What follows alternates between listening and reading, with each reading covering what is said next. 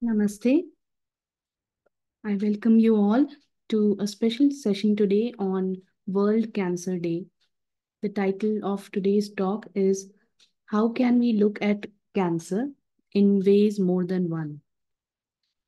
The speaker, Dr. Ramesh Bijlani, is a prolific writer and an inspirational speaker who holds a master's degree in nutrition from MIT, USA, besides a doctorate in physiology from AIIMS, New Delhi.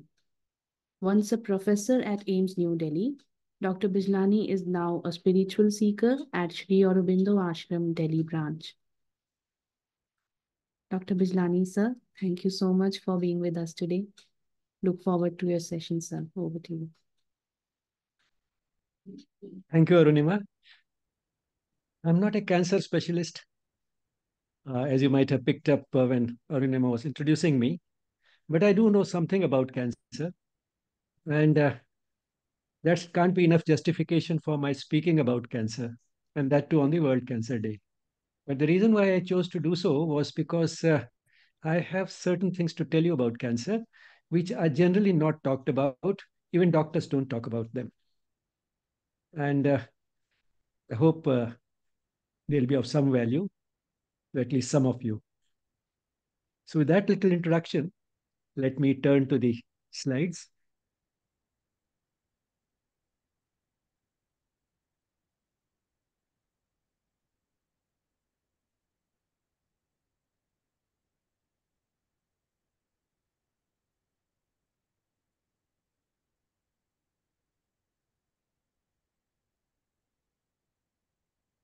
So cancer can be looked at in many ways, as the title suggests, and uh, we shall see uh, some of the ways in which it may be looked at in today's session. Before I go further, the love and blessings of the Mother and Sri Aurobindo to all of you. We'll start with, uh, as you might expect any such talk to start with, uh, to begin with the biology of cancer. Our body is made up of trillions of cells, and uh, most of these cells uh, keep dying, but then we don't uh, uh, come to know about it because uh, the number of cells lost is exactly the same as the number of cells that divide to replace these lost cells. So cell death is as much a reality as cell division, and uh, one keeps pace with the other. Not only are the cells replaced, the type of cells that replace the lost cells are exactly of the same type, which means that uh, they function in the same way as the cells that have been lost, and therefore function also doesn't suffer. And uh, we remain blissfully unaware of this process going on. It's somewhat like uh, an automobile in which uh, uh one by one different parts might uh, give way, and then you change them, you put a new part there. So after 15 or 20 years, the car might still look the same, but many of its parts are not what we initially started with. In fact, uh, more than half the parts might have been replaced by new ones. Occasionally, what happens is that uh, this precise process of uh, the cells replacing the lost cells does not go on too well because you can understand it has to be a finely regulated process. And once in a while, something can go wrong with this process. And uh, the cell division in some of the cells might become much faster than is desirable. And when they multiply very fast, they divide very fast, then what happens is not only the number of these cells grows, but uh, also we find that these cells do not function like the normal cells. So uh, they are uh, an additional sort of mass that develops without actually being able to perform any useful function. And this is something which keeps happening perhaps all the time in each one of us. But uh, we don't even come to know because uh, before this mass has developed into a full-blown cancer, it is uh, taken care of by the defense mechanisms of the body. And there are two types of defenses that save us from developing a full-blown cancer. One is that uh, while these cells are dividing, they also need additional nourishment. And this nourishment has to be brought by the blood vessels. And the blood vessels do not keep pace with the cell division. They do not form as fast as the cells are dividing, and therefore these cells do not get enough nourishment, and that's what starves them, and uh, that's how the tumor is taken care of. Another thing that helps us is the immune mechanisms of the body. And uh, that happens because uh, the immune system works on the basis of self and non self. It recognizes what belongs to the body, which we may call self, and what does not, and that we may call non self. So it distinguishes between the two. It's able to identify the cells that belong to the body and distinguishes them from those which do not. For example, germ cells, the, uh, the various germs which cause infections, when they enter the body, they do not belong to the body. They're identified as foreign, and the immune system eliminates them. So that's what the immune system sort of basically works on. That's the principle it uses. Now, these cancer cells, although they belong to the body, they are quite unlike the normal cells of the body. And therefore, these are also identified as uh, foreign or alien to the body, and they are eliminated in the same way as the germs. And therefore, while the tumor is still very small, on one hand, it starves because the blood vessels do not keep pace with the cell division. And on the other hand, the immune system identifies these cells as uh, not belonging to the body and eliminates them. And therefore, we remain unaware of this type of process going on in the body and we remain, by and large, cancer free. And therefore, you can understand that if the immune system is weak, then it might give a chance to these rebellious cells, you know, which are dividing very fast and dividing into cells which are functionless. Uh, these rebel cells then get a chance to proliferate uh, at a pace that uh, the immune system, the weak immune system, can't keep pace with, and therefore it may develop into a full-blown tumor.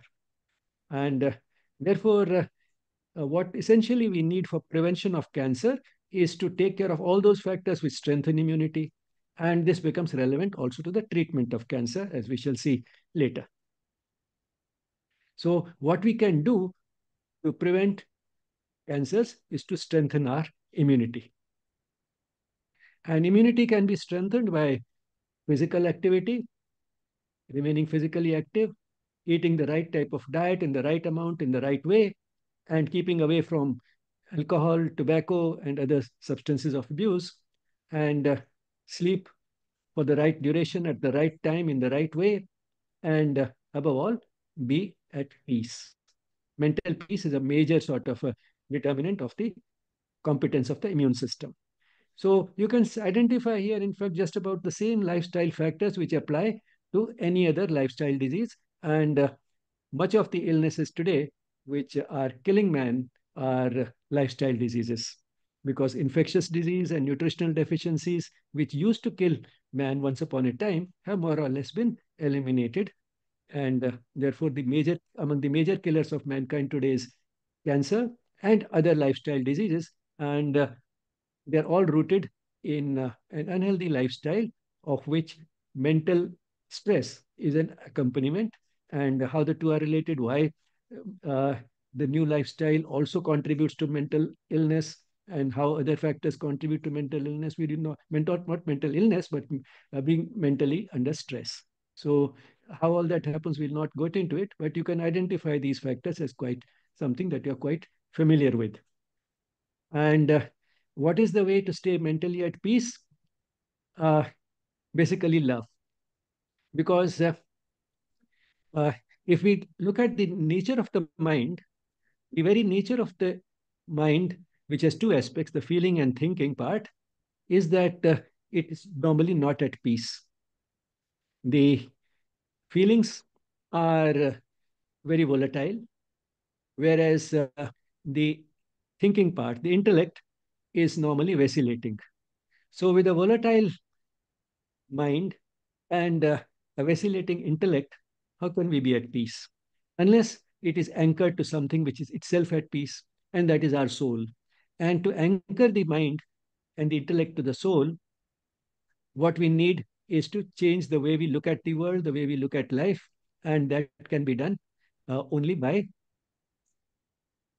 the mind and the intellect working in light of the soul. So that's what anchoring means. And uh, when we do that, we find that we start making choices which emanate from love because uh, that is what uh, makes the mind and the intellect function in such a way that it ensures not only mental well-being but lasting mental peace which is independent of external circumstances. Because so long as our happiness is dependent upon external circumstances, which is the fact when uh, the mind is not sufficiently illumined by the soul, uh, we find that uh, so long as uh, the mind functions without sufficient illumination from the soul, it, our happiness remains dependent on external factors such as uh, uh, what type of food I eat, what type of clothes I wear, what type of a car I drive, and our relationships. What's my relationship with the, the spouse and the children and uh, at the workplace? Now, these are the type of factors which are all outside us. These are the factors which keep determining our happiness. And so long as our happiness depends upon these external factors, we cannot be at peace because uh, these are things which are subject to change. Life is never 100%. All these factors will never be perfect. And if occasionally, for a brief period in life, they are almost perfect, we'll be nagged by the insecurity how long will it last? Because these factors we know are highly vulnerable and can change in a moment sometimes. And therefore, the only way to get stable peace is for the mind and the intellect to be illumined by the soul. And uh, that is what gives us that independence, that freedom, that liberation from external circumstances. And uh, for that, one of the important things, most important thing is that we should be making choices in life which are based on love, which means realizing a sense of oneness if not oneness, at least a sense of interdependence and interrelatedness with the rest of the creation. And when we do that, then we are not obsessed with our little self. We are looking beyond ourselves. And uh, out of this love, we are giving to those around us uh, what we can give to those who need it. And uh, that is what gives us that peace, which in turn stimulates, or rather increases the uh, capacity and the competence of the immune system. And that is the most important contributor to preventing cancer and several other illnesses, lifestyle diseases. So, in fact, uh, in these uh, uh 10 minutes or so, I conveyed the essence, the most important things that uh, I have to say. But then uh, I'm sure you may like to hear a little more. So, we'll go on further. So now we'll talk a little more about the biology of cancer, a little in greater detail. Now, what is cancer? Cancer is a group of diseases. It's not a single disease because it can affect many organs. And depending upon which organ is affected, it has different characteristics, different risk factors, different ways it manifests. So it's a group of diseases in which the common features of, uh, irrespective of where the cancer occurs, is that there's an abnormal, unregulated cell growth, which means the normal regulation, which ensures that the cell division is just as much as the cell death, that regulation fails. Secondly, these cells, abnormal cells that are produced at a very fast pace, the cancer cells, they have the potential to invade or spread. You know, they don't adhere to each other with the same uh, sort of tenacity as normal cells do. And therefore, they not only invade locally, have a tendency to uh, spread and invade local tissues, but they can spread also to distant organs, get detached and spread to the bloodstream or the lymphatics or both. Then, you know, they can affect any organ in the body, and therefore, there are in fact more than 100 types of cancer. Now, what is the age at which cancer is most common? You might guess that it is most common when the immunity is weak. And that happens at the two extremes of age, uh, at a very young age, below 15, and when one is getting a little older, above 60. Below 15, because the immune system has still not fully developed.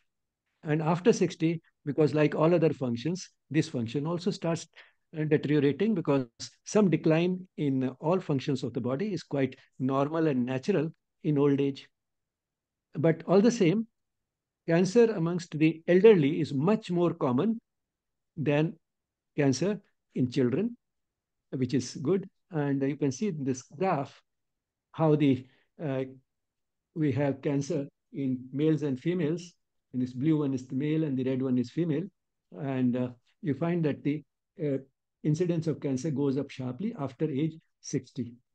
Here, you know, because of uh, the scale, you feel that it hardly occurs uh, in young age, but all the same, that number, much much smaller than the number above 60, is also not completely negligible. Especially leukemias, etc., are pretty common in children also. Now, what is it that causes cancer? If we go to the basic biological mechanism, majority of cancers, 90 to 95%, are due to genetic mutations, which means there's a change in the genes, and that is what leads to the unregulated proliferation. Because we have all types of genes, some of the genes uh, promote division, and some of the genes prevent this type of abnormal division. So, a sort of an imbalance between uh, the genes which may lead to cancer, which we call oncogenes, and uh, the genes which protect us, which we may call the tumor suppressor genes, broadly speaking. So, there's an imbalance between the two. Uh, there is an overactivity of the oncogenes and an underactivity of the tumor suppressor genes. And uh, as you can understand, there are a large number of genes in both categories. So multiple genes are involved, but then some key genes may be involved. The key genes may be different in different cancers. And the result is that there is this unregulated cell division. So basic thing at the cellular level is a genetic mutation. Mutation is you know, a relatively quick radical change. And uh, what triggers this are various environmental and lifestyle factors. Now, how about the genes that are inherited? That is, uh, uh, is cancer therefore inherited? It's by and large not necessarily so. So, which means that uh, it's not that the cancer is passed on, although the tendency to inherit some of the cancers may exist. So multiple genes are affected in uh, leading to this uh, uncontrolled cell division. And uh, that you can say is uh, due to the underexpression of the protective genes, the tumor suppressor genes, overexpression of the oncogenes, and formation of novel oncogenes. That is, there may be some new type of, because of uh, changes in the genetic material, some new oncogenes which did not exist in the cell to start with, they may be formed and there may be a failure of error correction mechanisms because these errors do occur and apart from the two factors that we talked about that is uh, the blood vessels formation of blood vessels not keeping pace with the cell division and poor immunity apart from that what also protects us from cancer, from a full-blown cancer is that there are error correction mechanisms. There are mechanisms which control the errors of this type in the genes. So those error mechanisms, apparently in these cases, are unable to cope with the type of changes that are taking place, or they may fail completely. These error correction mechanisms may fail completely. One of the important mechanisms associated with cancer is that there's a failure of apoptosis. Now, what is apoptosis? Apoptosis is uh, a, a, cell death, which is uh, something you know which is programmed within the cell itself. The cell itself realizes when it is either uh, functionless or uh, not required anymore, it dies. So this is programmed cell death, and uh, that also is an important mechanism mechanism in the body, uh, which uh, we need, as you can understand, when there is an unfixable DNA damage, hmm, for example. So when the cell undergoes some type of a defect, it the cell, as if you know, realizes that now I'm of no use to the body, so let me kill myself. So it is suicide by the cell. And I like this concept very much because uh, unlike us, our cells actually do not cling to life when they feel that uh, now I'm of no use, they are willing to die and they are programmed that way. And here is the cellular mechanism shown of how the cell shrinks and forms these blebs and then ultimately disintegrates. So uh, if the cell, if this mechanism of cell death, programmed cell death or cell suicide is in good shape, then there is no cancer risk because if there is a uh, damage to the DNA. You know, all genes are made up of DNA. So if there is a genetic mutation failure of the error correction mechanisms, any type of damage which we were talking about, then this cell is programmed to die. But then that doesn't, uh, if uh, that happens, there's no cancer. Whereas if this cell continues to divide, it clings to life, uh, then it could lead to cancer.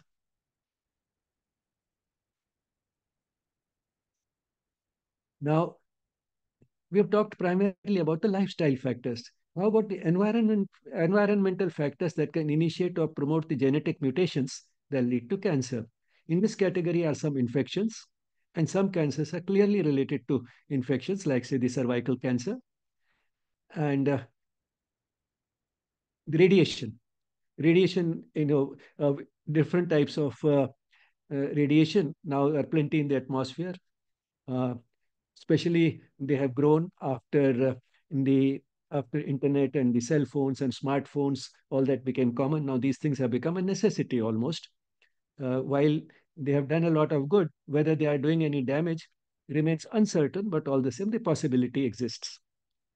And uh, then pollutants, environmental pollutants, the air, the food, water, everything is polluted. And uh, we do not have much choice there sometimes, which means that what we have to concentrate on is what we can change through personal effort. And in that, we primarily have lifestyle factors. We can't, if you have inherited a tendency to get cancer, that we cannot do anything about. So the genes that we have inherited are a given that we have to live with. And by and large, they are not the major cause of these lifestyle diseases. And also, none of us gets perfect genes. So therefore, we should not be blaming uh, our parents for what we get. By and large, what does uh, what we can do about is lifestyle factors. Environment factors, again, from personal effort, there's very limited, uh, there very limited extent to which we can do something. But uh, what we can do about is lifestyle factors. And if we just take care of that, that can still be highly effective.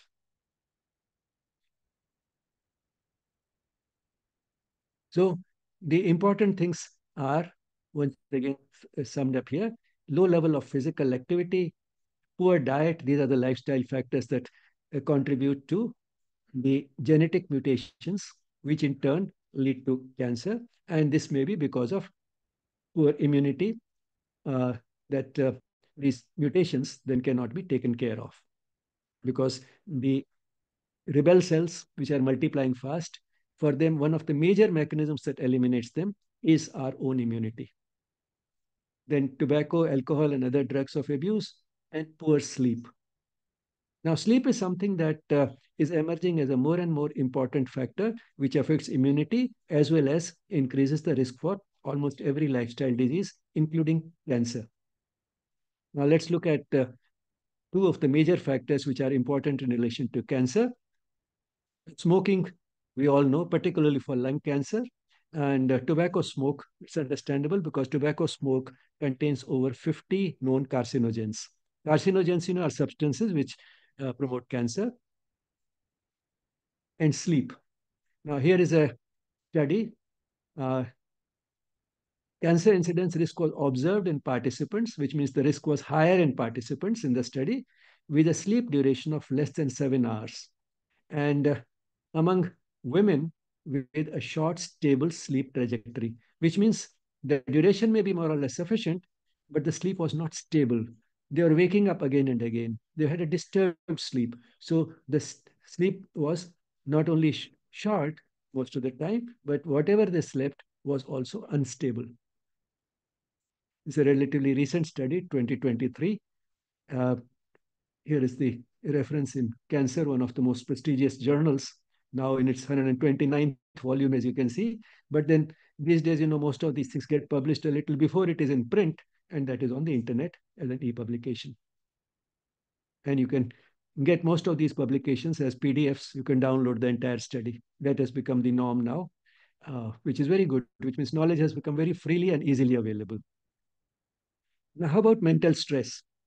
Does mental stress also increase the possibility of cancer? We can understand because uh, the relationship between stress and the immune system is now well established. We have a whole science called psychoneuroimmunology. That is how psychological factors can translate into immunity, which means mental disturbances, chronic stress, how can how it can translate into poor immunity. Those studies are now well known. On the other hand, peace and relaxation and being happy and cheerful can strengthen immunity. And therefore, it's understandable that that would have a relationship also to cancer. And uh, here is a, a, sort of a review in, uh, in this uh, booklet that has been brought out by the uh, Stanford School of Medicine, Stanford Center for Integrative Medicine, in which uh, in this chapter, uh, this author Mark Doolittle says, many researchers have found that chronic stress can wear down our body's defenses, lower our immune response, and make us more vulnerable to all sicknesses, including cancer.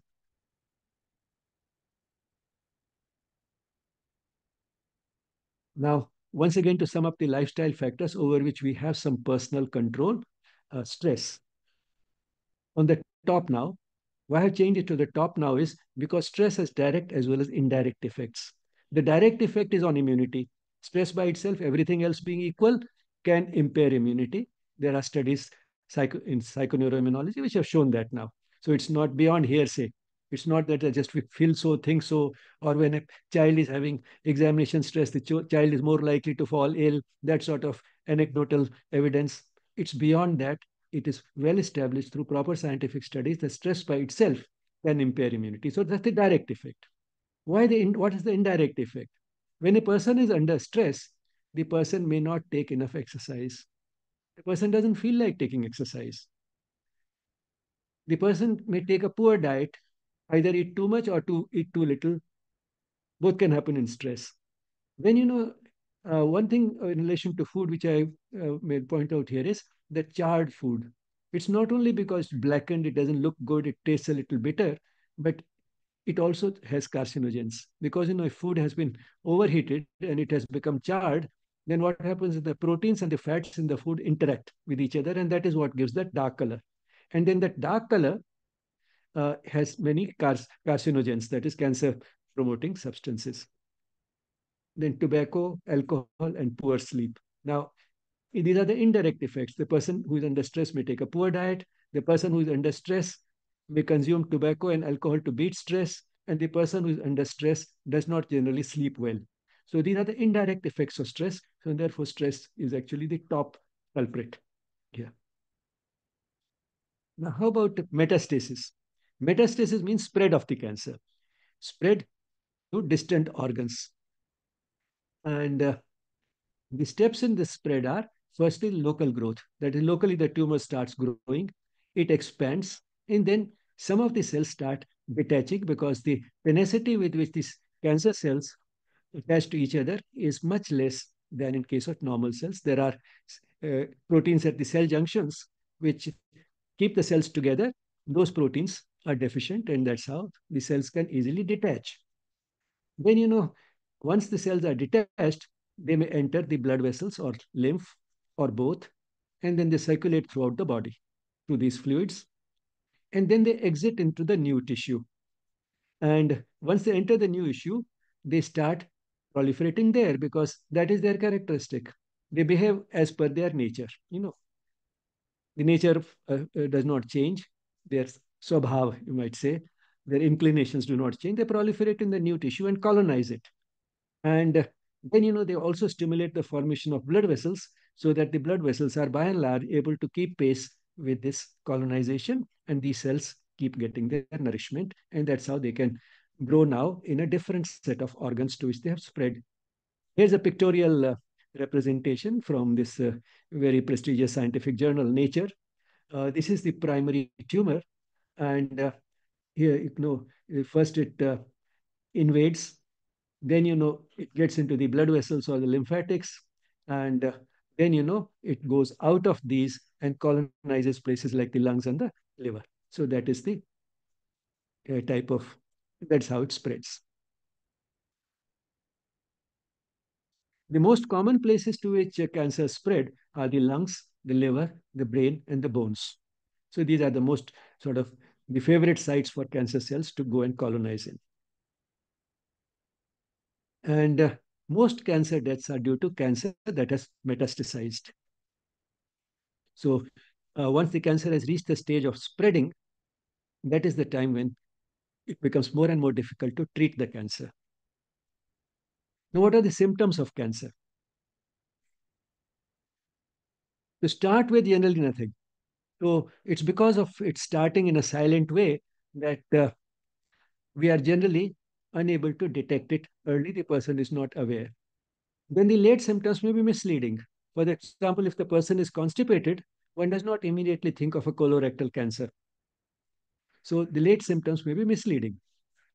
And uh, when the symptoms do develop, to start with, they are local symptoms, as understandable, because the organ in which the tumor is growing, that does not function properly. Or these local symptoms may be because of pressure, because the tumor starts uh, pressing on the surrounding tissues. For example, in case of the liver, it will, if it presses, or the gallbladder, if it presses on uh, the surrounding tissues, then it will lead to jaundice. So that is due to a mechanical pressure, uh, not letting the things flow. Or there may be a swelling. Of course, one would expect that if something is growing, there will be a swelling, but all swellings inside may not be visible outside. But then if it is a relatively superficial thing, then um, one may be able to feel the swelling. Or when it has grown quite a bit, then one may be able to feel a swelling in the abdomen or something. And to start with, the swelling is painless. And to distinguish it from other types of swellings, which may be inflammatory or something, uh, which are painful uh, but and smooth, the cancer swellings are to start with painless and they are not soft. They are hard and generally not smooth. They have a rough surface. So that's how doctors are able to make out while examining the patient that there is a greater likelihood of this swelling being due to cancer. While the swelling is painless, once the cancer has grown beyond a point, especially when it has spread, especially when it has spread to the bones, it can be extremely painful. In fact, cancer pain is one of the most severe pains known. And that's why in end stage cancer, very often the main treatment that is required is relieving this pain through the strongest painkillers available, morphine and it related substances. There are some general symptoms of cancer which may occur irrespective of the organ affected, and that can also warn us about cancer, especially in the elderly, in whom cancers are more frequent. Unintended weight loss. The person has not made any efforts, does not eat uh, less, uh, and still the person is rapidly losing weight. So rapid unintended weight loss can be a warning. When the person doesn't feel like eating, loss of appetite. Then anemia, uh, low hemoglobin levels, and failure to respond to nutritional supplements. The person is not eating enough, is losing weight, you give good food, you give nutritional supplements, the person does not respond to them. Even if you force the person to eat them, the body the weight loss continues, loss of appetite continues, anemia continues. They don't respond to these supplements. Unlike anemia, which most of the time responds to iron and sometimes it needs B12 or folic acid, these are the commonest nutritional deficiency anemias, these supplements will not help in relieving the anemia due to cancer.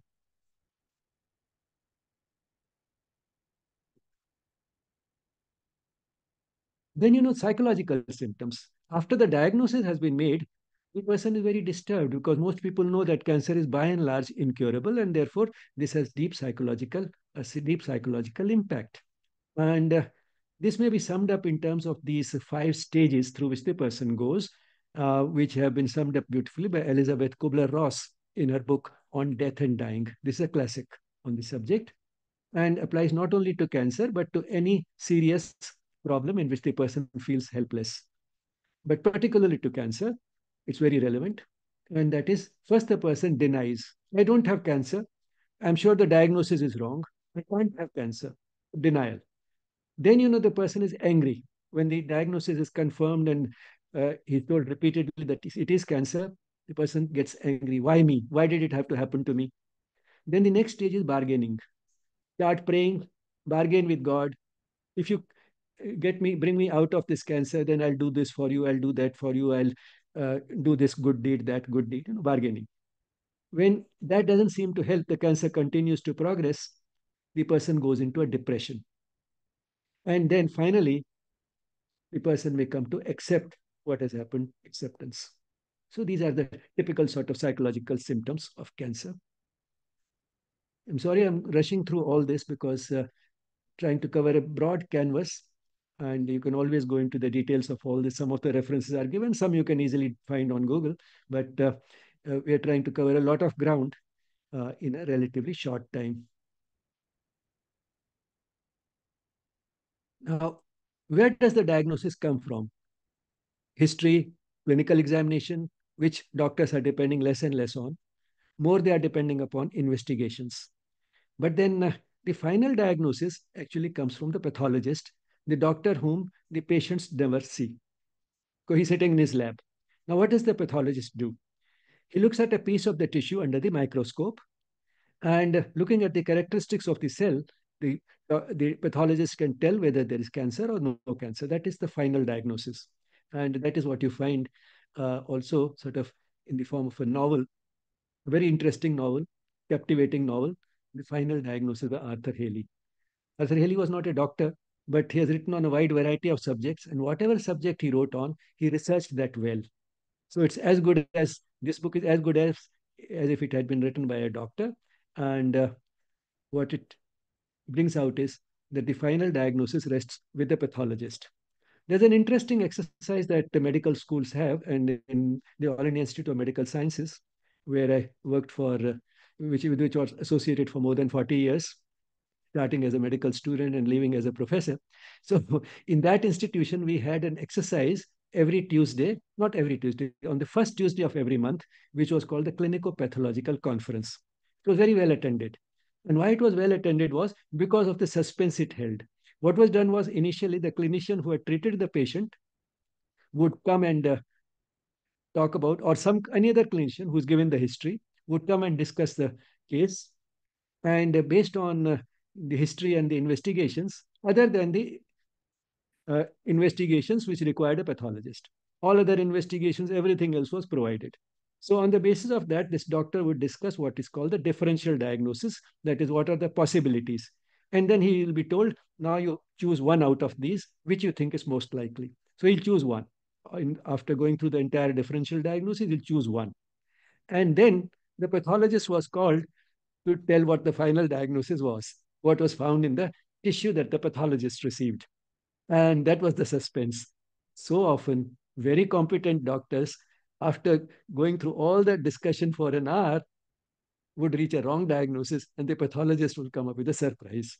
Not always. Very often the diagnosis was confirmed, what the clinician identified, but the final diagnosis always comes from the pathologist. And that's why, you know, when a surgeon is operating on a cancer, very often what he does to decide how much of radical surgery is required where it's a malignant tumor, then I mean it's, a, it's actually a cancer, then how much of the tumor to remove, tumor plus the surrounding tissues, if it is whether it has to spread the to the lymph nodes, so some lymph nodes would also be removed. So the tumor and the lymph nodes would be all sent from the operation theater itself to the pathologist. That's what they call a frozen section. That is quickly taken, frozen, and then for which you can get a quick report, which is not necessarily the final report, but sufficiently reliable for the surgeon to be able to decide. So on the frozen section, the pathologist will quickly send back the diagnosis. And while the patient is still on the operation table, the surgeon can then decide what to do, whether to remove only the tumor, whether to remove also the regional lymph nodes, how radical the surgery should be. So the final diagnosis actually comes from the pathologist by looking at the cells. Now, this may be an opportune moment also to talk about a few, few myths which are very common about cancer. The myth that cancer is contagious.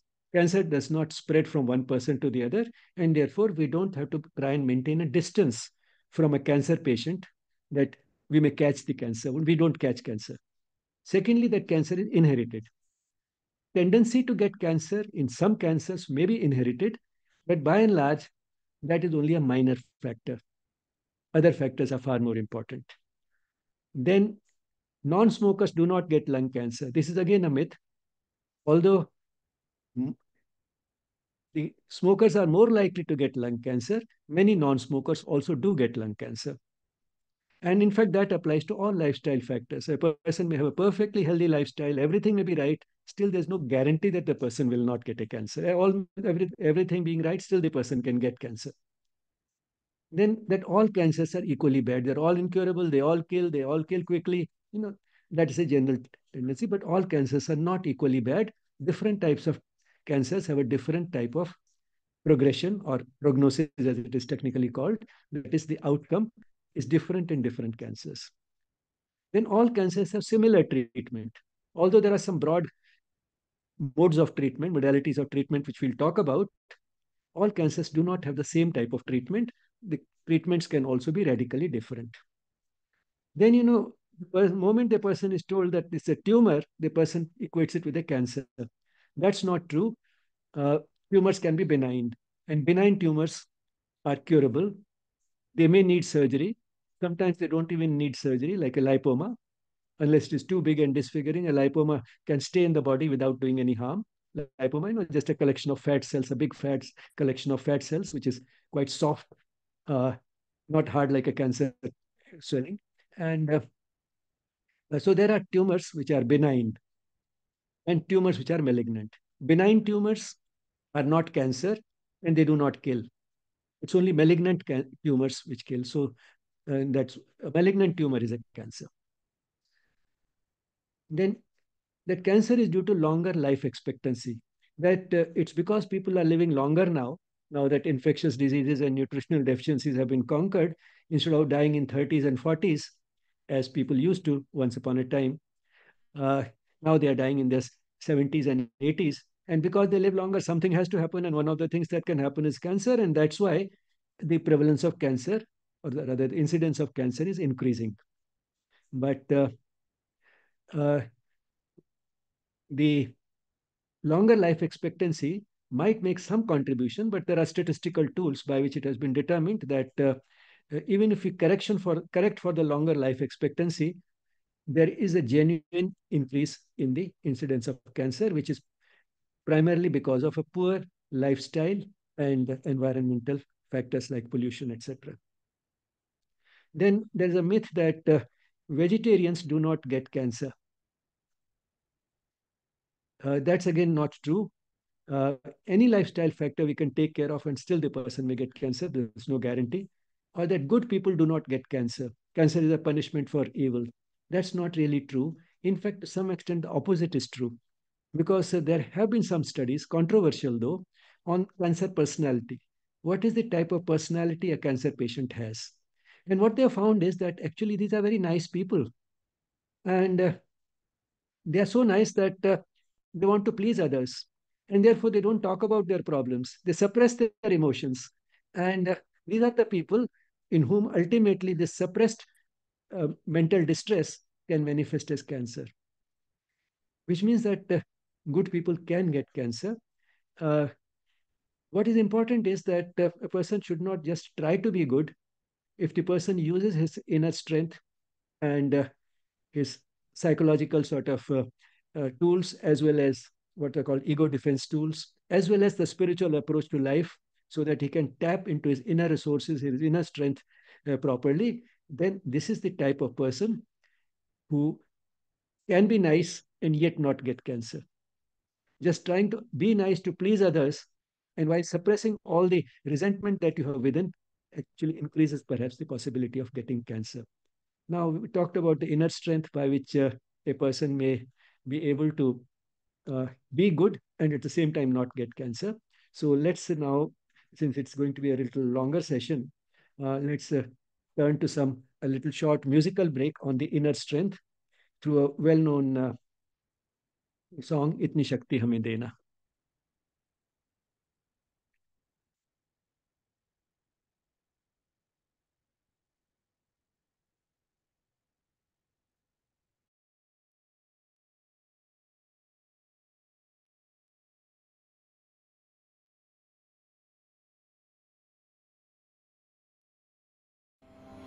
इतनी शक्ति हमें दे न दाता। मन का विश्वास कमज़ोर होना। इतनी शक्ति हमें दे न दाता। मन का विश्वास कमज़ोर होना। हम चले नेक रस्ते पे हमसे भूल कर भी कोई भूल होना। इतनी शक्ति हमें देना दाता। मन का विश्वास कमज़ोर होना। दूर अज्ञान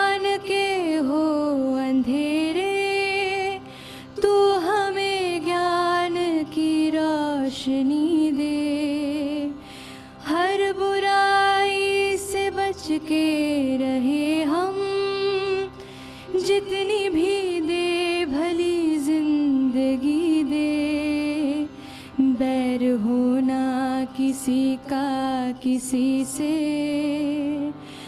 भावना हो न बदले की हो होना हम चले नेक रस्ते पे हमसे, भूल कर भी कोई भूल हो होना इतनी शक्ति हमें देना दाता मन का विश्वास कमज़ोर होना, हर तरफ़ जुल्म है, बेबसी है।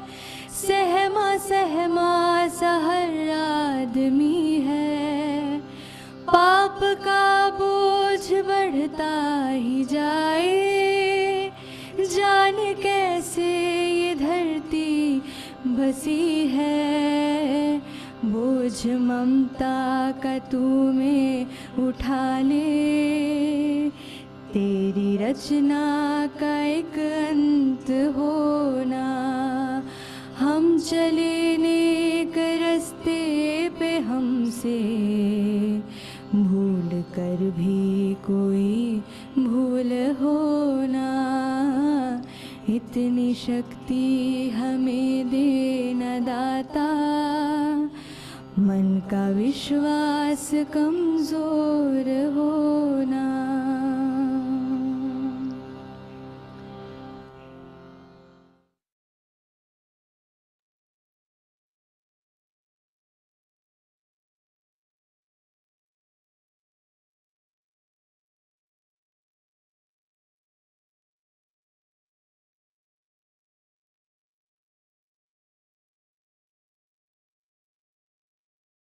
Thank you, Arinma, for playing that uh, beautiful music.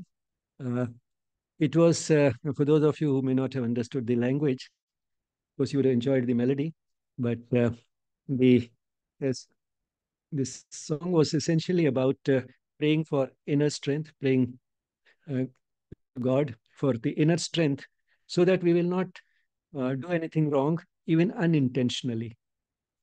And uh, then, you know, a few things were brought out about uh, how we will live a life full of love and how we'll avoid negativities like revenge, uh, which is one of the most negative emotions. So, strengthening and feeding the positive and uh, avoiding the negative in life is essentially the way to, to tap that inner strength, that inner resource which all of us have. And uh, when we are praying to God for that inner strength, that God, in a way, also within us. So that strength can come from within, from our own soul, which is our divine essence. We just have to let it manifest. So with that, now we can again turn to the PowerPoint.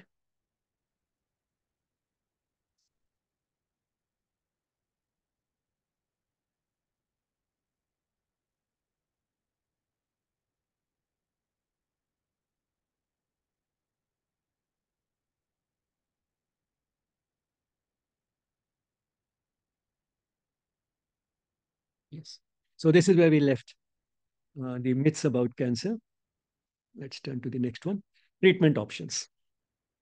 Now, what are the various treatment options available in cancer?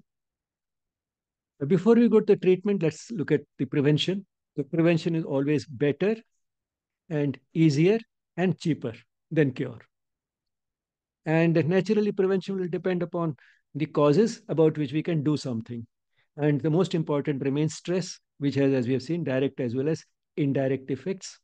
So, uh, taking care of stress, so the direct and indirect effects are less, and also paying some direct attention to these factors like physical activity, diet, drugs of abuse, and sleep. And uh, here is a, a quote from Anup Kumar. He's not a doctor, but he went through the experience of cancer and has written this beautiful book, The Joy of Cancer, in which uh, he says that the human soul at peace is strong ammunition against malignant cells. So it means that when these malignant cells develop, right at their inception, when they are just beginning to develop, if at that time one is at peace, the immunity becomes strong, and that immunity may be looked upon as ammunition against the malignant cells. Although there could be gentler ways of looking at the malignant cells, but all the same, uh, this is one way in which very often it's looked at that we need a, a weapons, we need a, a, a, battle to be there's a battle to be fought with the malignant cells. So he uses this word ammunition. But then peace translates into good immunity, and good immunity translates into those weapons which work against malignant cells.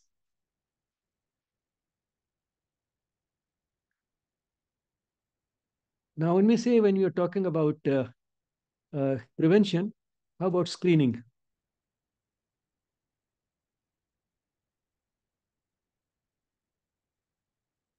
How about this? Sorry.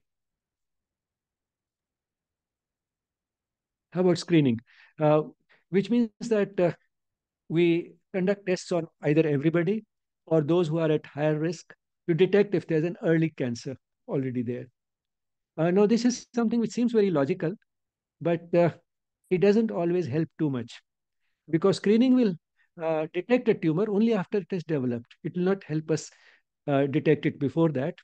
And secondly, particularly in case of prostate cancer, what has been found is that uh, it can lead to unnecessary treatment because when you if a person above 80 a man i mean above 80 dies of uh, dies due to some cause other than prostate cancer, if that person, uh, if an autopsy is done on this person, that is, uh, at least some parts of the body are examined under the microscope, one very often finds a focus of cancer in the prostate.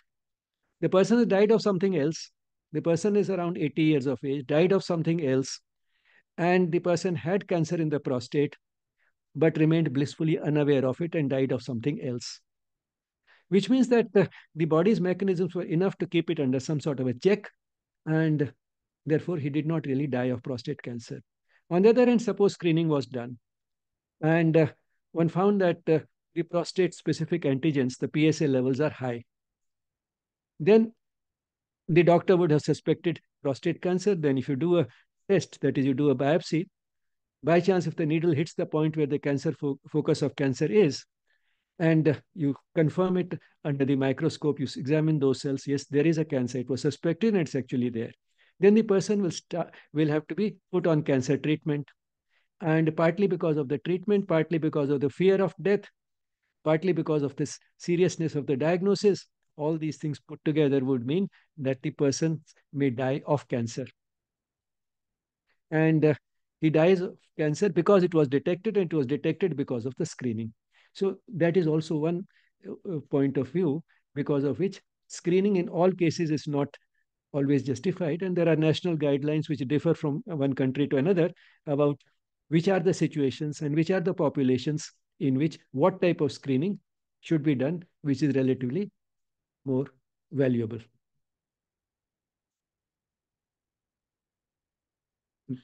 Now we come to treatment proper, surgery this remains the top choice. So it means that if the tumor is at a stage where it is operable and it has not spread, that can actually lead to cure. And the explanation is very simple. Because uh, if the surgeon has removed the tumor and the tumor had not yet spread, the surgeon, you know, has done very good surgery, but no surgeon can ensure that he'll remove every possible cancer cell from the body.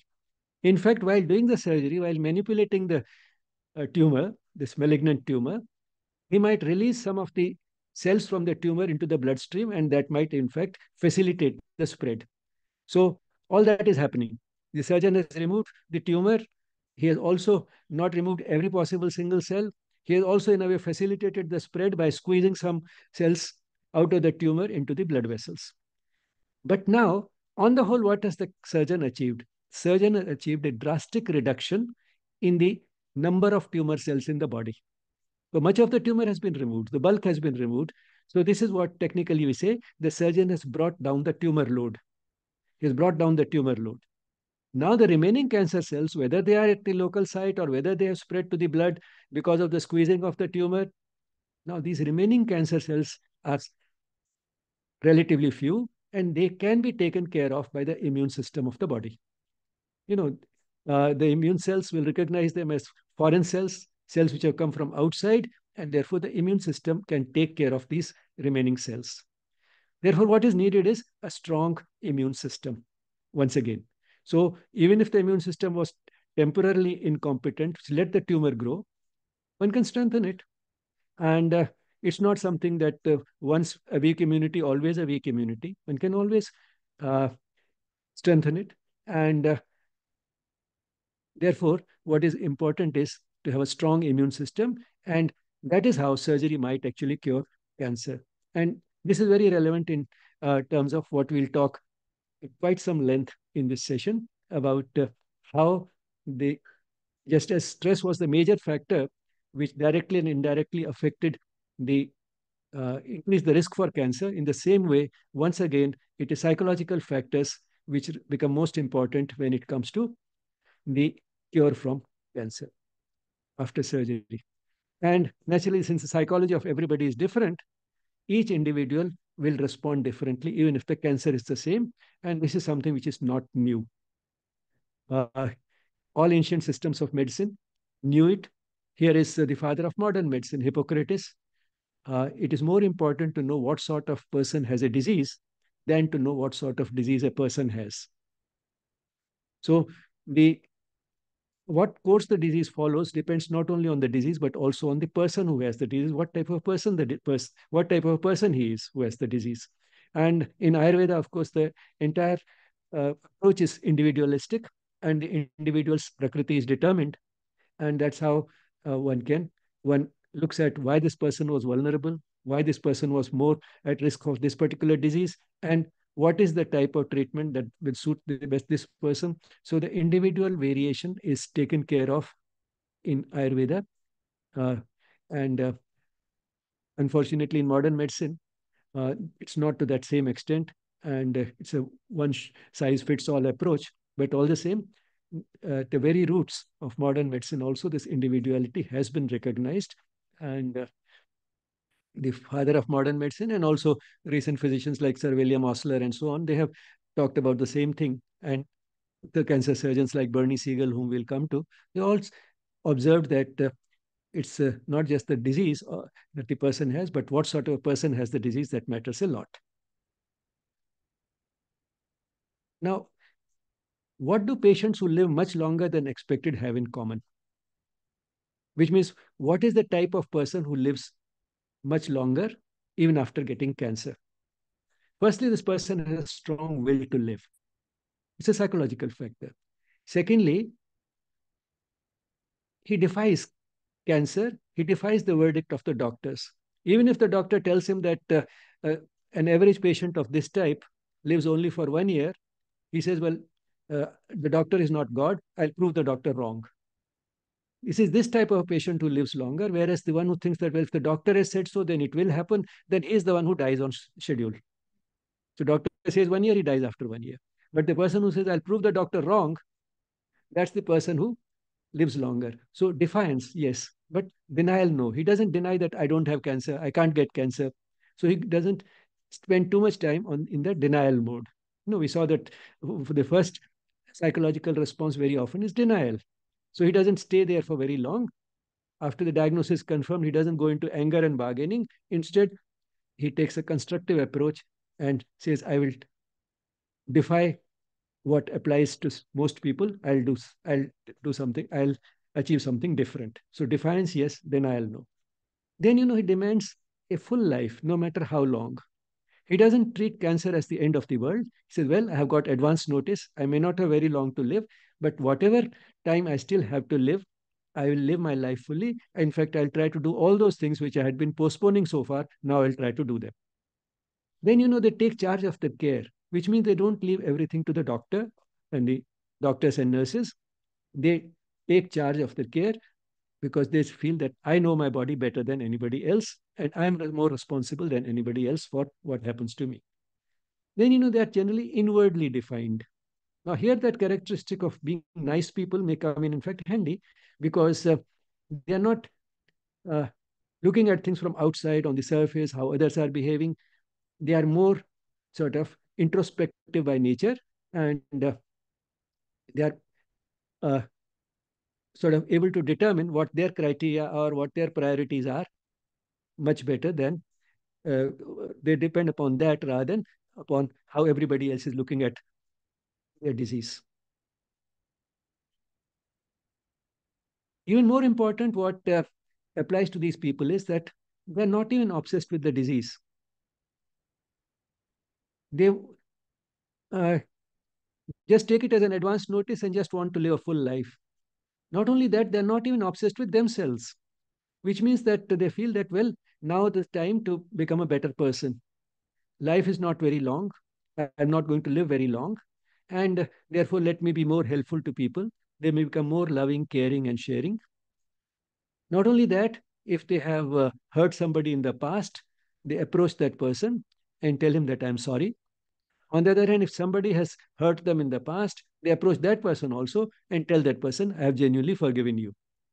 And uh, with this approach, they find that uh, the people around them start behaving better because this person is now apologizing to some and forgiving others. And they also know that this person has cancer, may not live very long.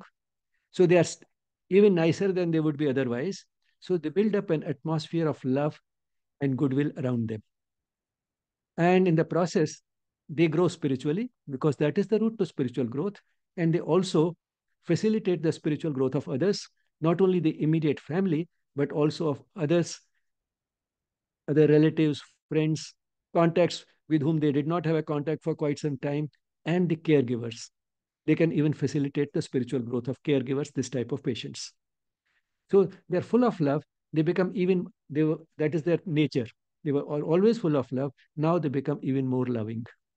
And these are the patients who end up, after undergoing surgery, the tumor was operable and they've undergone surgery and it had not spread. These are the people who get completely cured. And uh, Bernie Siegel, a cancer surgeon, calls them exceptional cancer patients or ECAPs. So this is what ECAPs have in common. So Bernie Siegel says that ECAPs may not be very frequent, but instead of dismissing them as an occasional sort of occurrence, which somehow is a miracle and we don't know why it happens and how it happens, now we know why it happens, why these people are exceptional. But can they teach us something? They teach us, firstly, uh, who is able to get that cure. It's not a miracle. It's not just sort of a uh, small statistical probability. It is uh, something which has a basis in the type of person who has the disease. Secondly, what they can teach us is that if this is the approach to the disease, which comes naturally to some people and helps them get cured, can we inculcate the same attitude in others to whom it does not come naturally? Attitudes are not easy to change. But this is a situation when the person has a has an incurable disease like cancer, a basically incurable disease like cancer, this is the time when the person's attitudes are a little easier to change. So why not provide that type of psychospiritual counseling, which will change the attitude of the person and he'll also become yet one more exceptional cancer patient? Can it be done? Bernie Siegel and many others have tried to do it and they find it can be done. And that's how you can make these people live much longer than expected and sometimes overcome the cancer completely. Eventually, everybody has to die. But the fact is that the remainder becomes longer and the remainder becomes more meaningful.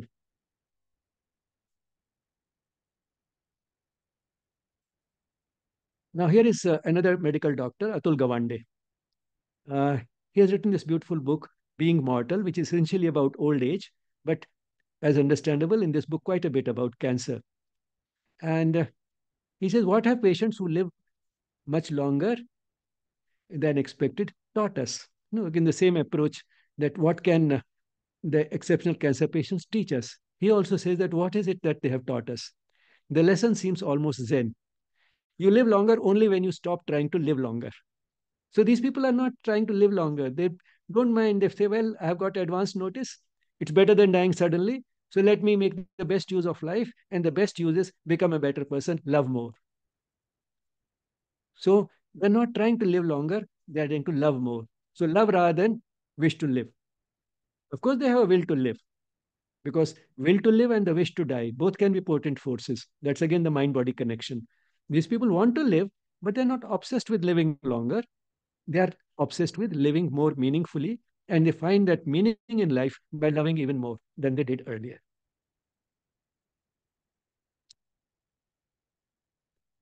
Now, that much about surgery. And why I spend that much time on surgery, you can understand, because that is the only treatment, if it is done relatively early in the course of the disease, which can increase, which has a very high chance of a complete cure. Now, how about chemotherapy and radiotherapy, the two other major modes which are used in combination with surgery? Now, these two are a double-edged weapon because uh, they work primarily on the rapidly dividing cells. The cancer cells are also rapidly dividing, and so they will affect these. But then there are other cells in the body which also divide rapidly, like, say, the skin cells, intestinal cells, the hair which grow on the skin. And uh, it's because they also affect the other rapidly dividing cells, the blood cells, that the person gets side effects. So killing the cancer cells increases the possibility of uh, the disease uh, getting better, the person living longer. Killing the cancer cells helps that much. But then uh, by acting on the other rapidly dividing cells come the side effects. Some of them may be only cosmetic, like uh, having hair loss, but some of them are more serious, like, say, the effect on blood cells would weaken the immunity. So, on one hand, we are trying to help the patient by uh, killing the rapidly dividing cancer cells. On the other hand, by reducing the population of rapidly dividing blood cells, we are weakening the immunity, which itself can, which otherwise could have helped in fighting the cancer. So, the inbuilt mechanism for correcting the cancer is being weakened. So you are weakening the intrinsic capacity of the body and strengthening the, and on the other hand, killing some cancer cells using these weapons which act on rapidly dividing cells. And therefore, uh, one has to see sort of what the balance is. On the whole, is the benefit more than the harm that we are doing? And if that seems to be so, then these are justified, and uh, that has been the general approach. But uh, that explains the side effects. But then these side effects, some of these side effects, and the disease as a whole uh, can be also looked at not only very seriously as an opportunity for spiritual growth and so on, it can also be, one can bring in a dose of humor into it. And uh, that always helps in strengthening the immunity. You know, we have that classical case of Norman Cousins, who got himself cured of the autoimmune disease ankylosing spondylitis, uh, spondylitis, literally through a combination of laughter and vitamin C. Laughter was a major component of his self-treatment. And uh, that's how he came out of that disease from which only one in a 500 come out. So laughter itself can be also a good boost for the immunity. So here is a, a cartoon from again in this book by Anup Kumar, The Joy of Cancer. And now this person has got this side effect, lost hair because of uh, cancer treatment. And then he's shown a variety of wigs which he can use. And uh, so this doctor is telling him, look at it this way. Now you can change your hairstyle every day of the week. Now, are there some new tools other than surgery, chemotherapy, and radiation therapy? Some of the new kids on the block are targeted therapy. Now, targeted therapy, uh, unlike chemotherapy, is not a general sort of a tool for rapidly dividing cells. Targeted therapy tries to bank on the basic differences between a cancer cell and a normal cell in the body and uses those characteristics which are unique to cancer cells to target cancer cells. That's why it's targeted therapy. Immunotherapy, on the other hand, tries to strengthen the immune mechanisms of the body and sometimes by itself provides that immunity by injecting into the person antibodies to the tumor cells. You know, antibodies can neutralize uh, whatever these antibodies are against. So the antibodies against the tumor cells will help in eliminating the tumor cells. So again, it is a more specific type of therapy for tumor cells. You identify the antigenic characteristics of the immune cells, sorry, of the cancer cells, and manufacture antibodies which will work against those cancer cells and provide that. So targeted therapy and immune therapy are relatively more selective and focused, uh, working primarily on the tumor cells and not on all rapidly dividing cells as conventional chemotherapy and radiation therapy did. Then laser has also been used as a tool to destroy cancer cells. Uh, so these are some of the newer modes of treatment. But then uh, the fact remains that especially when the cancer has spread, and we saw most of the deaths in cancer are because of metastasis that is spread, when that has happened, sooner or later, the person gets worse. And it's quite obvious that the person will not recover. And that is the time when the pain may also be severe. So managing that pain, other symptoms, making the person's life comfortable becomes a major focus of treatment. And under that come these two things, palliative care and hospice care. They're similar, there are overlaps, but there's the basic difference between the two. Palliative care means that you your focus is on pain and symptom management, but that doesn't stop the rest of the treatment. The rest of the treatment continues along with that. Whereas when a person goes to the hospice, then uh, the person knows, and everybody there knows that this person doesn't have very long to live, and we just have to basically make the person comfortable. The rest of the treatment is stopped. Now you may feel that uh, the person who goes to the hospice will therefore live less because the rest of the treatment has been stopped, whereas in palliative care, the rest of the treatment continues. But the interesting thing is that many studies, in fact, point in the other direction. People in the hospice sometimes end up living longer than those who are on palliative care. Why that happens, we'll see briefly as we go along. Then which are the other approaches? Ayurveda and other systems of medicine, they have their approaches to cancer, which can which are not an either or approach. They can be combined with modern medicine. And uh, we have uh, a session on Ayurveda uh, already uploaded on the YouTube channel of Yes Spirituality. So I'll not go into that.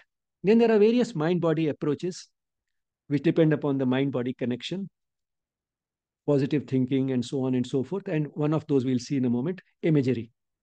Then yoga, not just as a set of physical practices, but as a way of life. Again, you know, we have plenty of material on Yes Spirituality YouTube channel. So we'll not get into how yoga can be a total way of life, how it can help in stress management and so on. And uh, spiritual care. That is bringing primarily the spiritual approach to life and spiritual approach to the disease, which is part of life. Now, here is imagery. Now, the person sits down, meditates for some time, and then after 10 or 15 minutes of meditation, he starts visualizing what is going on inside the body in a positive manner. And many types of imagery have been used in cases of cancer.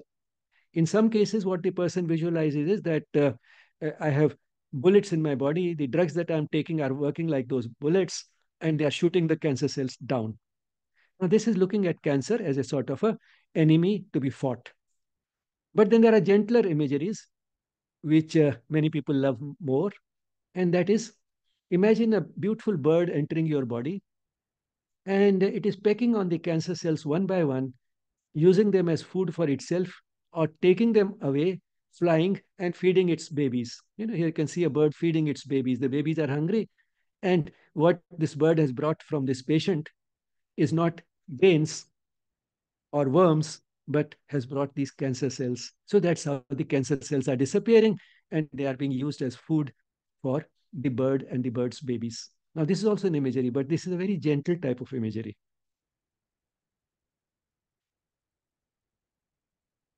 Now, once the person has been diagnosed with cancer, this part is a little more for doctors than for the general public, but all the same, one should know it.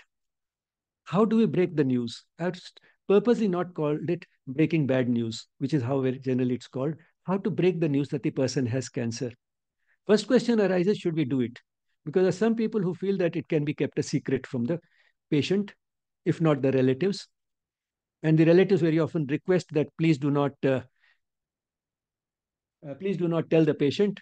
The patient will be very disturbed. Now, the, here, the verdict is pretty clear. Almost everybody agrees. The question is not whether we should do it. We should always do it.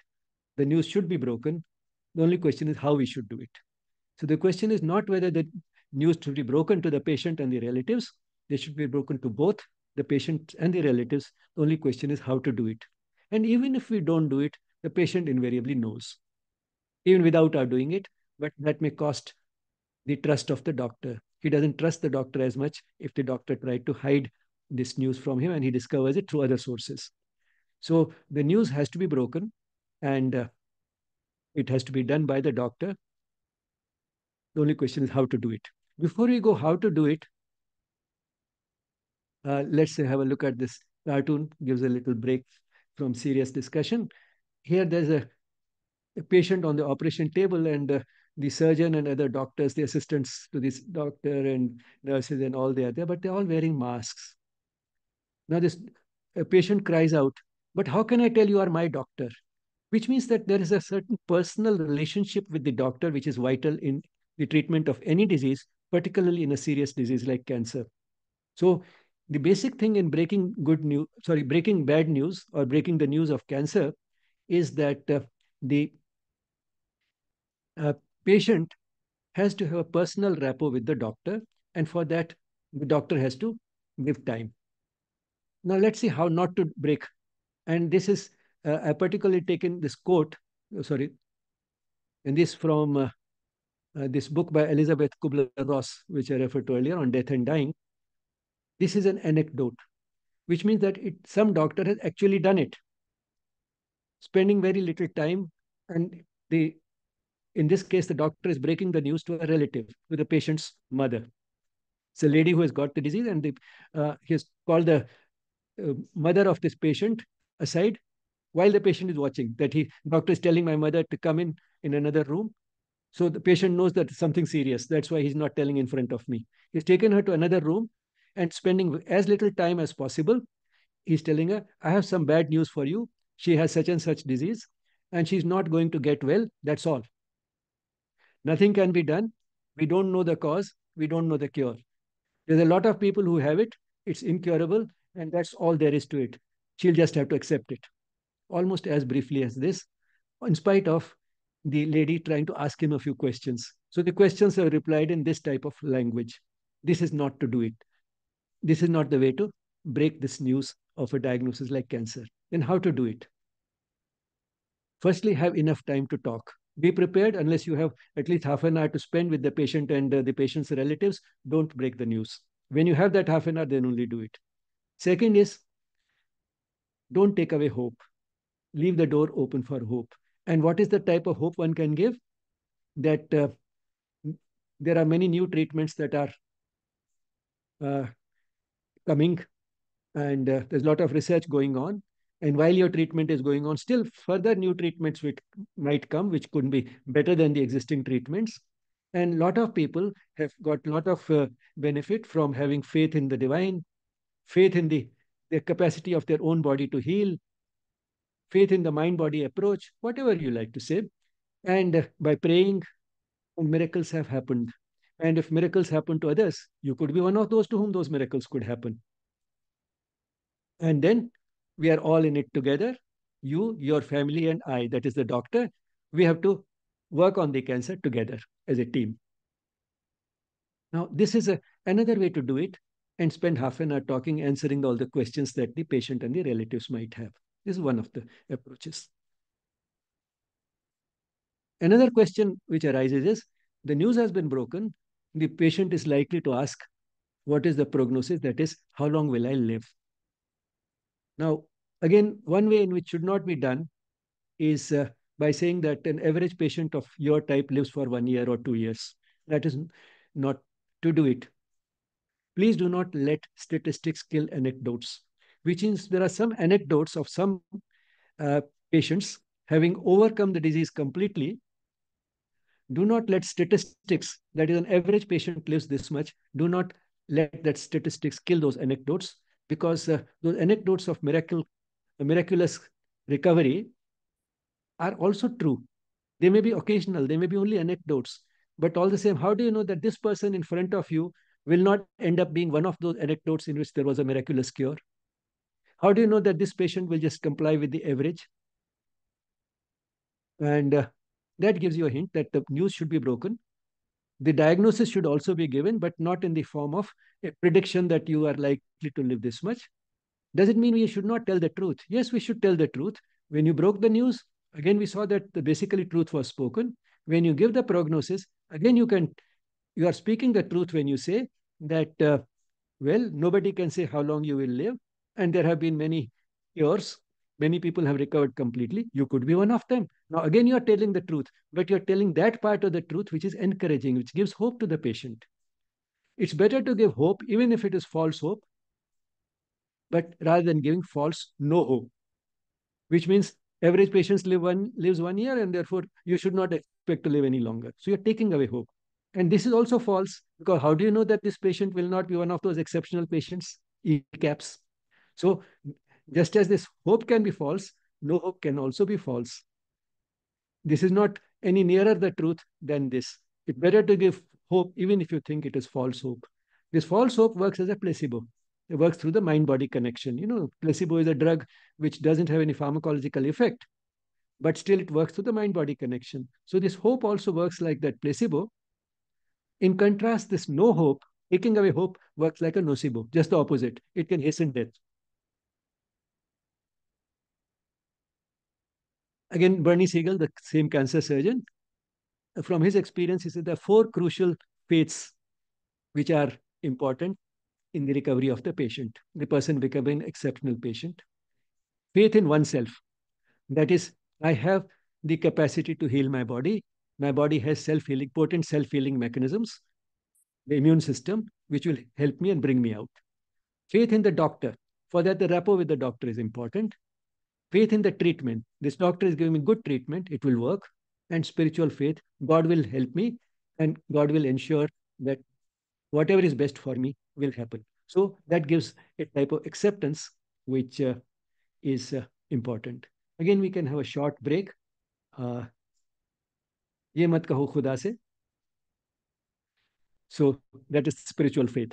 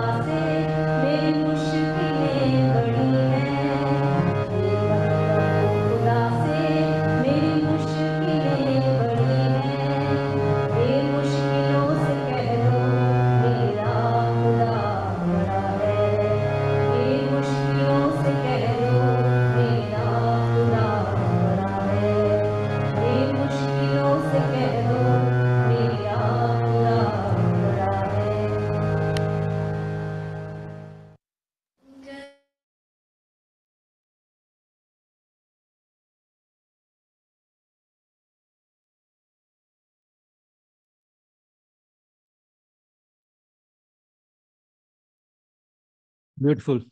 And this is one of my favorite uh, devotional songs. Don't tell God that uh, I have major problems. Instead, tell your problems that my God is much more powerful than you. And uh, after all, uh, what are problems as compared to the one who knows everything and can do everything? That is what God is about all knowing and all powerful. And uh, therefore, no problem is too big for that force, that higher force. Anything that appears very difficult to us can be very easy for Him. So that's what this is about. Now we again turn to the slides.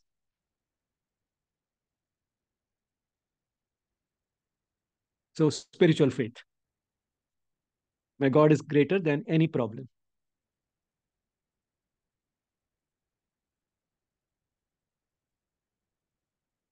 Now, the economics of cancer. Again, an important topic, although not a medical topic, but then partly medical also because health economics is a field in itself in community medicine. Uh, now, here is a patient who is startled by the bill.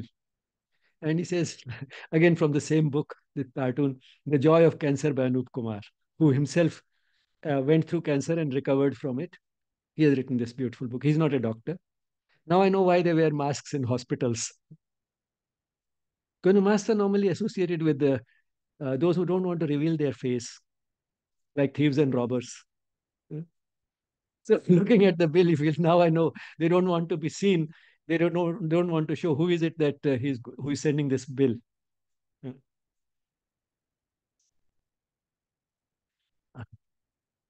Now, the economics of cancer has at least three aspects. One is the patient and her family. The family is very often driven to bankruptcy uh, by through cancer treatment. Cancer treatment can be extremely expensive. Then, you know, the government or the society, which in a way are the same because it's the taxpayer in the society who funds the government, who may provide uh, some relief through free hospitals or partly free hospitals. But then there's no country in the world where any government can uh, subsidize or take care of all the cancer treatment that is available today. Then, you know, enter the insurance companies. If one has insurance, then uh, the insurance company has more or less guaranteed, depending upon the type of scheme one has opted for, that uh, even cancer will be taken care of. But insurance companies are also finding it more and more difficult to cope with the larger number of patients living longer, people living longer and getting cancer where the treatment can be very expensive. The insurance companies are also finding it difficult to cope. And therefore, in a way, some sort of a ray of hope for alternative approaches, which can be very useful, has come from insurance companies. They have funded the type of research in which they have uh, tried to see whether all the intensive, aggressive treatment, which is sometimes used to keep the patient just a little longer, is worthwhile.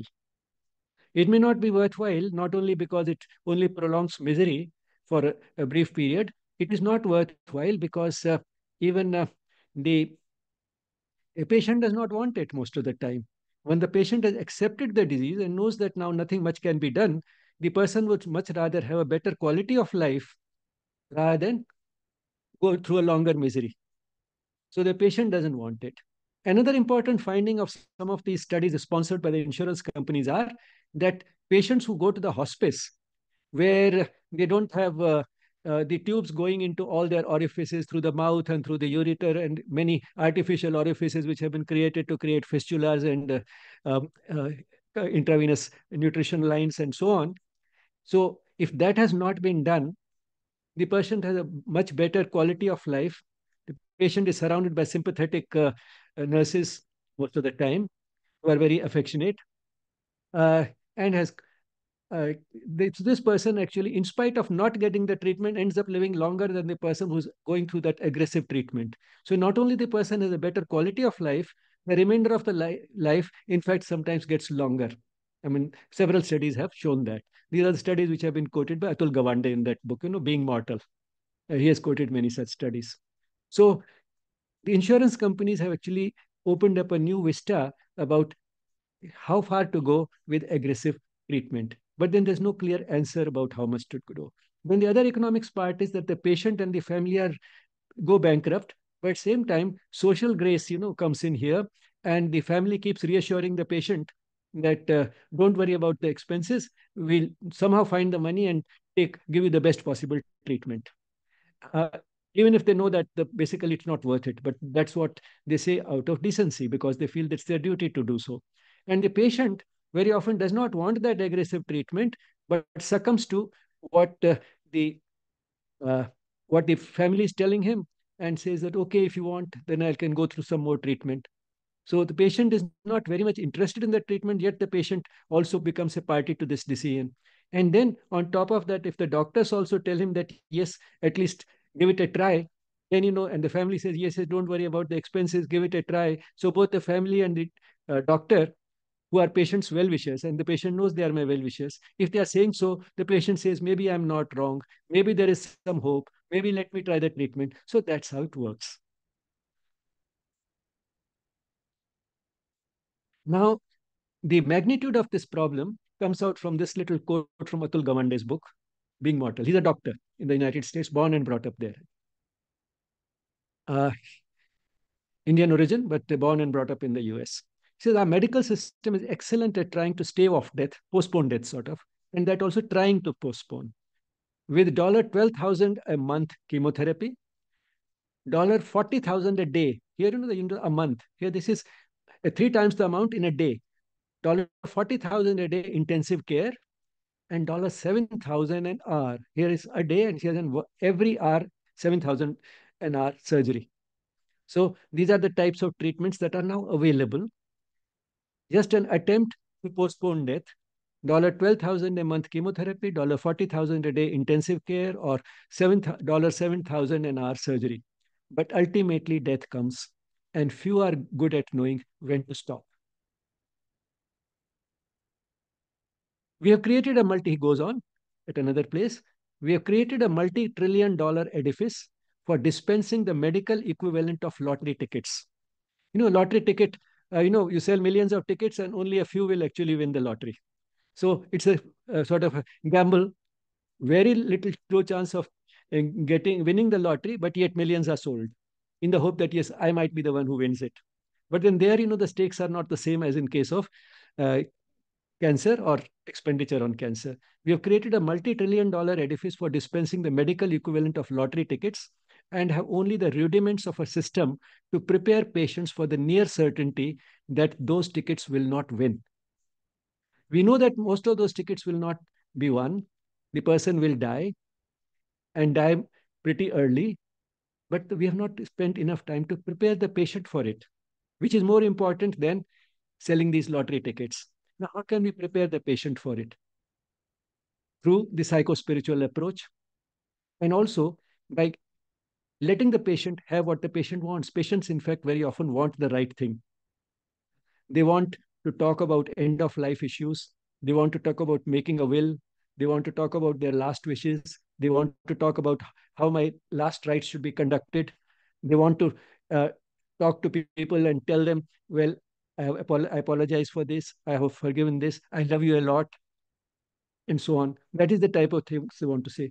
We don't prepare the patient for any of those things because all the time is spent centered around medical care and uh, that means lying on the hospital bed where the uh, relatives are allowed only occasionally for a few hours at a time. So the especially in the ICU, if the person is the intensive care, uh, no visitors allowed except for a little peep every few hours.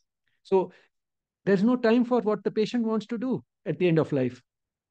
So we are not preparing the patient. The patient wants more devotional music.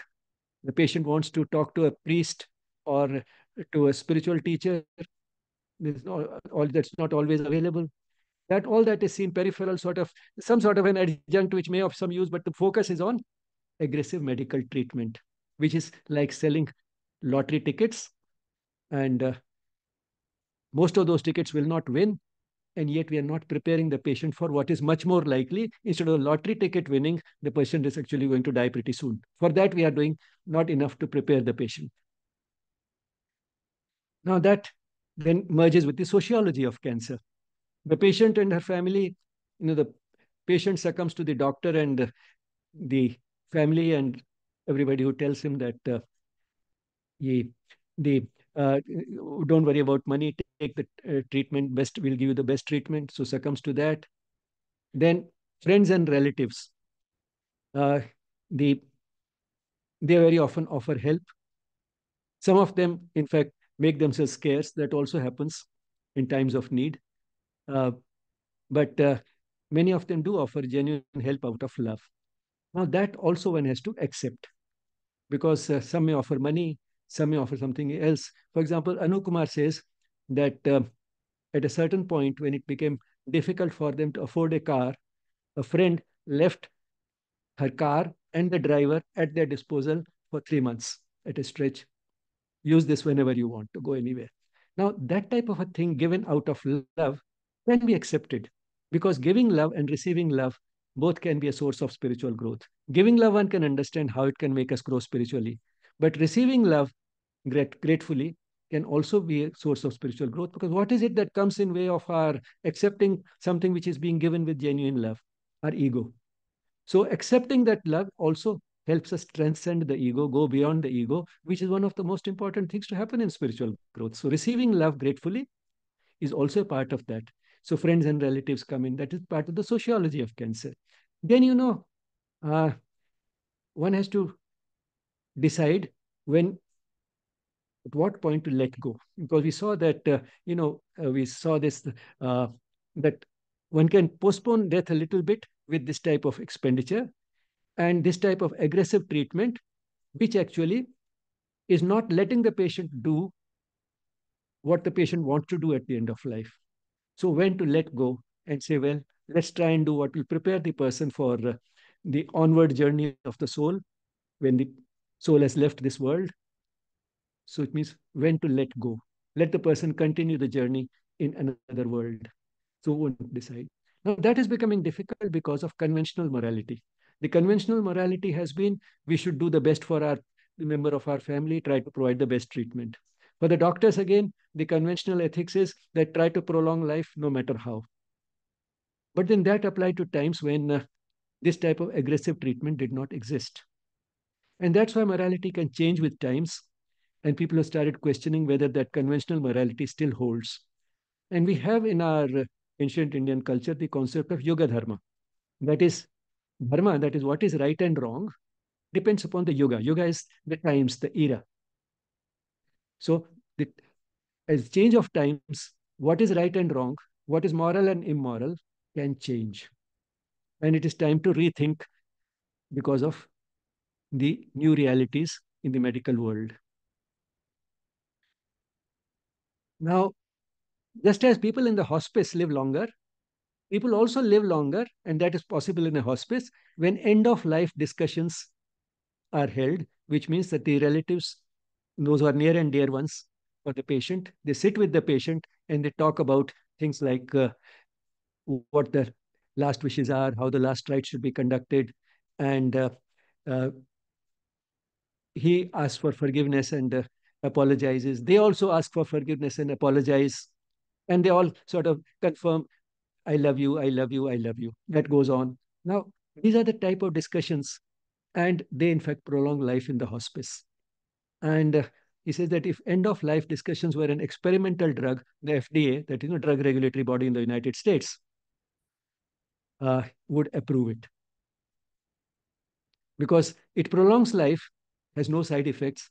Whatever side effects are there are all positive. That is uh, growth of love. Now, that's a very positive side effect. Spiritual growth, that's a positive side effect. Now, here we enter into another area that the legalities of cancer treatment. Why do doctors always uh, try to suggest uh, more and more treatment? Partly it is because if they deny the person some treatment which is still available, then the person can be dragged to the court of law. If this treatment was available, why did not why did you not let the patient have the benefit of that treatment? So, so long as some treatment is available, they'll advise that treatment rather than say that nothing can be done. And now, most of the time, there is hardly any situation where nothing can be done. There's always something that can be done. And therefore, to keep himself on the safe side legally, because now medicine you know, is changing its color. The doctor is no longer treated as God. His verdict is not, is, can be questioned in the court of law. So uh, the doctor, so long as the treatment is available, the doctor recommends it. The decision lies with you, lies with the patient and the family. But so far the doctor is concerned, if the treatment is available, he's bound to offer it. And here is a uh, sort of general uh, sort of statement based on probably interview of a very large number of cancer specialists, which again Atul Gawande uh, says in his book, more than 40% of oncologists, more than 40% of, percent of cancer specialists admit to offering treatments that they believe are unlikely to work. They know the treatment is useless, it's not work. But so long as the treatment is available, they offer it because nobody should be able to say that if this was available, why you did not offer it. That is the legality. Which again brings us to the Yuga Dharma, that what is legal and what illegal, what is moral and what is immoral depends upon many factors and that can change with time. Then looking at cancer in ways more than one, which was the title. You already seen, we have seen it in many ways. Now let us see a few more ways, which are the final sort of a uh, look at cancer. Cancer is generally seen as an enemy. We fought. But is it really a contemptible crook or does it deserve another look, a more charitable look? Is it an enemy to fight or can it be seen in a different light? Now, coming from a cancer patient who is not a doctor, who's written in this book, The Joy of Cancer, Anup Kumar.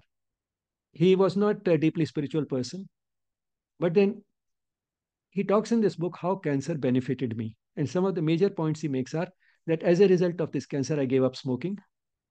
I learned who my real friends are, true friends are. The others made themselves scarce. The true friends were those who offered genuine help, like say leaving the car for three months, car and the driver for three months at their disposal. Freed from work alcoholism. He used to work a lot. He realized, what is the use? I have to have good, better work-life balance. And that's how, once again, found his family. He again became intimate with the family. And as he says, I put in single quotes, became spiritual, because that's what he says. But uh, there's nothing like becoming spiritual. It's uh, realizing one's spiritual nature because basically we are all spiritual beings.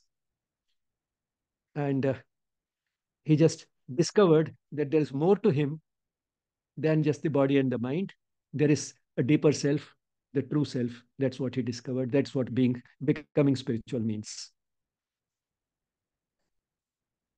so if so much can happen to a person who starts as an ordinary person not as a deeply spiritual person then can we really call cancer a crook or an enemy to fight? And of course, we saw those exceptional patients of Bernie Siegel, how they handled cancer in such a way that they got cured after surgery. So that's why he says illness can be a wake up call. Not every physical illness can be cured. We can, however, make use of all illness to help us redirect our lives. We can become more loving and caring, as we saw. And again, the same person, Bernie Siegel, the greatest gift of all is that we don't live forever. So, being mortal, which is the title of uh, Atul Gawande's book, is actually a gift. It's a gift that we have to die. We don't live forever. Otherwise, we would never think of the genuine purpose of life. It's because we know that life is limited. But then nobody expects death and nobody knows when death will come. It can come suddenly. So, in a way, cancer patient is lucky. He knows that the certainty which I knew all along but was denying is now a reality for me. I'm not going to live very long. Secondly, it's not going to happen tomorrow. I have a few years more to live, which means I have advance notice. Let me do what I should should have been doing all my life. Let me start doing now. And the result is that the spiritual growth that this person can achieve within five or 10 years that this person lives can be more than several decades of ordinary life. Not only he achieves that, his family, his caregivers like doctors and nurses, his relatives and friends can also share in that spiritual growth. And uh, basically, spiritual growth comes through love. And that is not only the purpose of individual life, that is also what should be happening on the planet as a whole. That's what makes the world a better place to live in. And one of the final conclusions of Bernie Siegel, I believe that we are here to contribute love to the planet. When we are loving, when we become more loving, we increase the amount of love that goes around in the world. That's our basic job. We are here in this earth to contribute love to the planet, each of us in our own way. And some end up doing it through cancer, which is not too bad a way as you've seen, because it gives us not too much time, yet it does give us some time. Do what we should be doing. And finally, this quote from Sri on the same lines that to feel love and oneness is to live. That is what makes life meaningful, what makes life worth living is uh, a feeling of love which has been inspired by a sense of oneness. Suggested reading. Here are two of the best known uh, paperbacks of Bernie Siegel. They are paperbacks, so they are popular books, but same time based on extensive research. Love, Medicine and Miracles, Peace, Love and Healing. These two books, one by a person who has recovered from cancer, Anup Kumar, The Joy of Cancer, and another by another medical doctor, although not a cancer specialist, uh, Atul Gawande, Being Mortal. And uh, this book, again by medical doctor, Elisabeth Kubler-Ross, on death and dying. In this book, again by a medical doctor, Dr. Alok Pandey, a psychiatrist and a devotee of Sri Aurobindo Mother. The title seems similar, but there is a difference. This is on death and dying. This is death, dying, and beyond. Which means that you'll find a lot more spiritual content here because the beyond part, death is not the end of the story. The journey of the soul continues. So there's a death, there's a dying process of dying, which ends in death, but that is not the end. There is a beyond. My gratitude to some of these major sources, Wikipedia, uh, National Institutes of Health, the Khan Academy, Wiki, and uh, Wikipedia, of course, for many other things. And all this search becomes so easy because of Google. Gratitude to the Mother and Sri for making this session possible. Uh, here's our YouTube channel, Yes Spirituality YouTube channel, on which this talk will also be uploaded. And you'll find plenty of other material, previous talks, courses, music, lots of material which you may find interesting. Uh, if you have any questions or comments for which there may not be much time today, because already it has been a very long session, uh, you can always write us on this email address, yes at yesspirituality.com. Thank you all for being there. Thank you, sir. Thanks a lot for this very comprehensive session. Although you mentioned you are not an expert, but it didn't seem so. Thanks a lot for your research and deep insights. Uh, we do have a question in the chat box. Uh, Okay. During the session, we got it. Would you like to take it? Sure. I will read it out. So, uh, Samir says, Namaste, Dr. Bijlani. Thank you so much. Recently saw a book that asserts cancer is genetic, is a myth. Dr. Thomas Seyfried says it misled researchers. Per him, it's a mitochondrial metabolic disorder. He talks experiments. They took nucleus from tumor cell and fertilized in new good cytoplasm and found it had no trace of cancer on growing, etc. So, uh, one question he has why great souls like Ramakrishna Paramhans, Golwalkar Guruji died of cancers? Knowing their biographies puzzled me why their saintly and spiritual strength didn't help cure cancer. Well, I mean, there are two different questions. One is related to the biology of cancer, that is, uh, uh, whether cancer is genetic or not. Now, this is a little vague in the sense that cancer is not primarily a hereditary disease. That is true.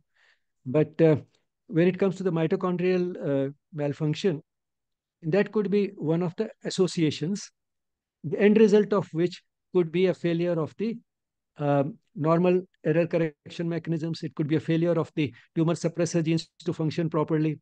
So one set of research does not necessarily prove that all the other previous research was wrong. What it does is that the previous research raises some questions and it tries to answer those questions. One might ask, why do the genes behave like that? Why do the tumor suppressor, tumor suppressor genes become weak? Why is it that the oncogenes get an upper hand? Now, that is a question. Now, if you go into that, you find that that is was because of mitochondrial malfunction. But then you'll ask, why was mitochondrial malfunction there? Which means another piece of research. So that's how research keep going, keeps going back. And finally, you reach a stage when you say, beyond this, I don't know. That always happens in research.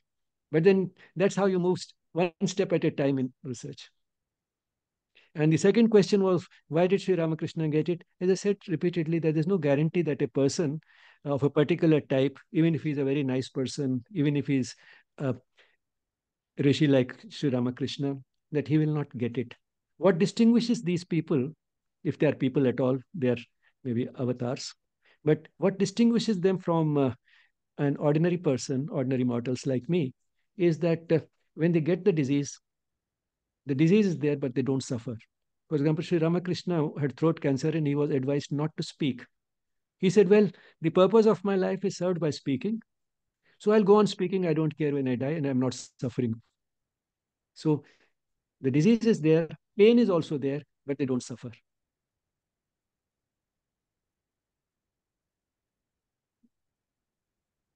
Any other question? Thank you, sir. No, no other question such.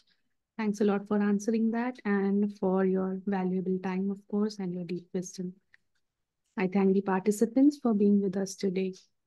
We can close today's session with a moment of peaceful silence. Namaste.